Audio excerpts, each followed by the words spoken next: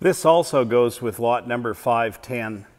We got the spreader bars and all the rest of it. I think I've done a video of this, but um, we've got some great overhead cranes. Overhead cranes, at least five or six of them at Campion Marine Auction. Go to grasswoodauctions.com. Sale closes this Monday. If you need overhead cranes and hoists, these were all certified in September of 2021. So there you go. Thank you.